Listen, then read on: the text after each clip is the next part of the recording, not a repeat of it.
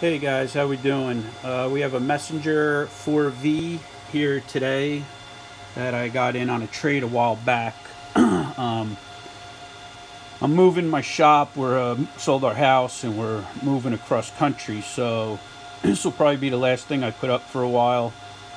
Just thought maybe I'd look at it before I packed it, and then I ended up getting involved in fixing it while I was waiting for a part for. Uh, this RCI here, the part came in, it was the wrong part, so now I'm just going to give a refund on this and uh, hold on to it for a while. When the part comes in, I'll fix this and put it back on. But uh, RCI, what I did on this one, just so you know, has a low output, no amp on, amp on. So uh, dead key on it is a whopping 1 watt right now with the amp off. Audio.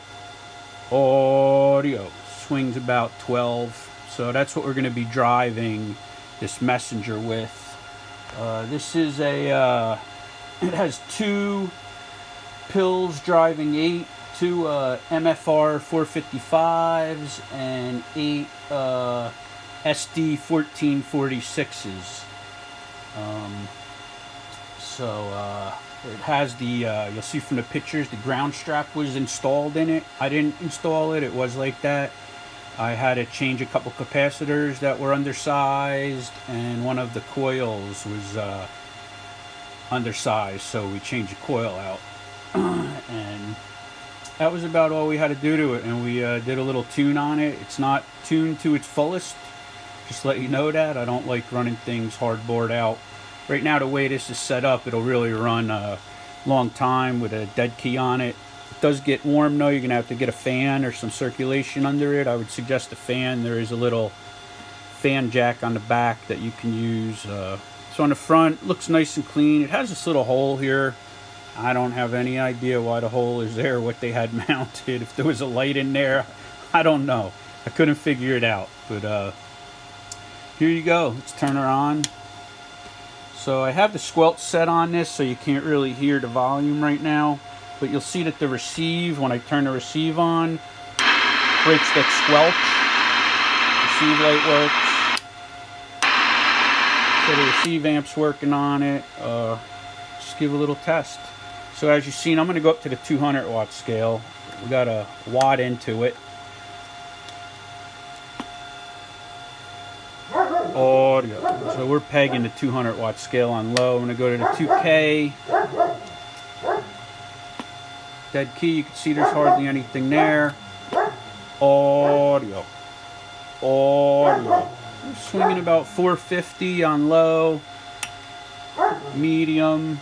It's my dog. He wants to talk on the radio too sometimes. So again, low dead key audio audio jumps up to about 600 then on high.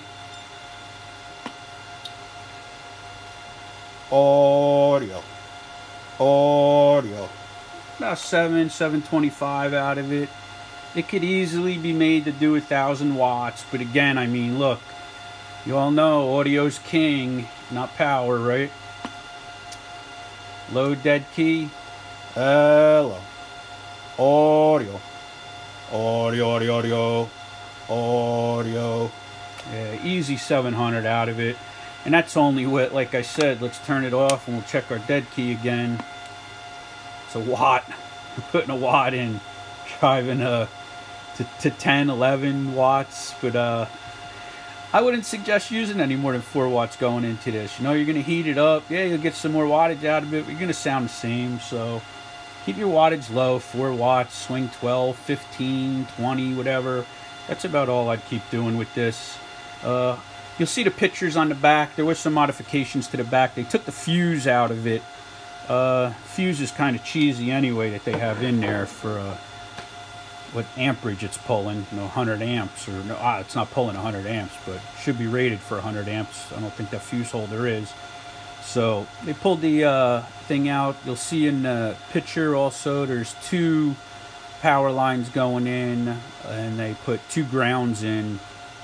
And that ground strap was put in there, and the two separate grounds like that to help get the uh, flow of current through the transistors because with such a small board that this lays on such a small package, you're not able to get the flow you need through the transistors. So that was a trick they started doing back in the day is putting that uh, phenolic. It has a it's copper, little phenolic, and then copper again. It's not a solid piece of copper. That's supposed to help with the uh, heat transfer also off of the transistors. So I ran this with the top off for quite a time. I did some dead keying for about, uh, God, two minute, three minute dead key that I was just talking into it, mumbling, singing happy birthday, and I wasn't going to tape that and show everyone. But yeah, it didn't get too hot really. You know, the hottest part was the switch it got hot, and uh, I found the loose connection on there, cold solder joint, so we fixed that. So, it, I mean, it doesn't run so hot. I was running it pretty good for a while, so uh, here it is, guys. Uh, Messenger 4V. It's very good uh, amplifier, built very well. Uh, I like them better than the Texas Stars, and uh, there's always a debate about which one's better. I think that the Messenger used much uh, higher quality parts than the uh, Texas Stars did, but Texas Stars is a good amp too. But here you go, guys. as you can see, it's got a little damage on it. I didn't do anything to the box. I'm not painting it. If you guys want to paint it, it has some Velcro on the top that you guys, it'll pull right off and you can clean it up. I just don't have the time or the patience right now with the move. So this is it, guys. Uh, as you can see, it's a working Messenger 4. I don't have the remote for it, so if you need the remote, good luck trying to find it. I know they're out there, but they're hard to come by. Could always wire some switch up or something just to power it off and on.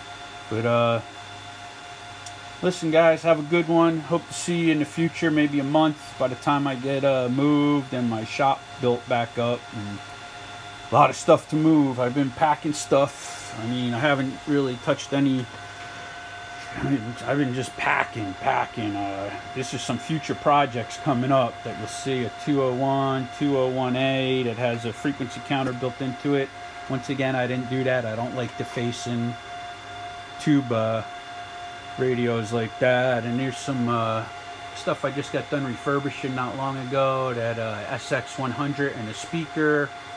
And there's a Madison up there. I have a Cobra 2000. I have a DAC. I have some Robyn T123s and 240s that are going to be getting put in. And here's my dog out there. Say hi, boy. Yeah, there he is. Look at that guy. He's an old boy hanging out watching the house for me while I'm working, you know. So guys, again, 73s, God bless, and uh, have a good day.